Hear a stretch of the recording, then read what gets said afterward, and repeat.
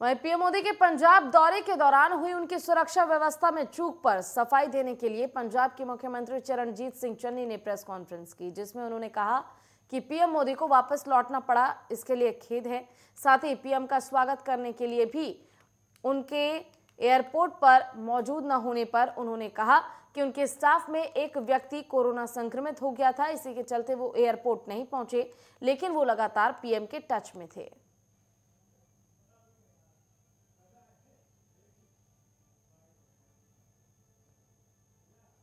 ਪਹਿਲਾਂ ਤੋਂ ਪ੍ਰੋਗਰਾਮ ਬਣਿਆ ਸੀ ਕਿ ਮੈਂ ਉਹਨਾਂ ਨੂੰ ਬਠਿੰਡੇ ਰਿਸੀਵ ਕਰਨਾ ਹੈ।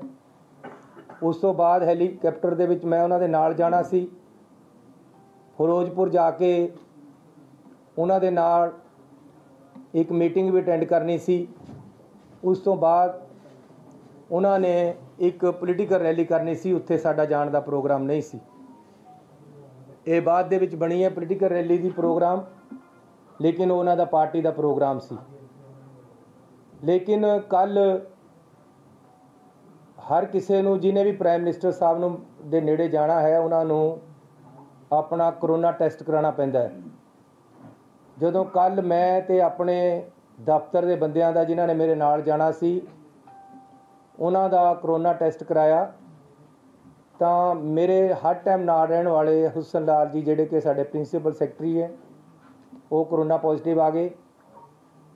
ਮੇਰਾ ਇੱਕ ਪੀਏ ਹਰੀ ਸਿੰਘ ਸਰਕਾਰੀ ਤੌਰ ਤੇ ਜਿਹੜਾ ਸਾਡੇ ਨਾਲ ਹੈ, ਉਹ ਕਰੋਨਾ ਪੋਜ਼ਿਟਿਵ ਆ ਗਿਆ।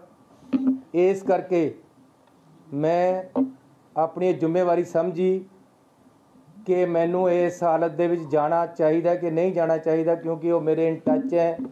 ਪ੍ਰਧਾਨ ਮੰਤਰੀ ਜੀ, ਬਹੁਤ ਹੀ ਕੀਮਤੀ ਪੋਜ਼ਿਟਿਵ ਦੇ ਟੱਚ ਵਿੱਚ ਆਇਆ ਇਸ ਕਰਕੇ।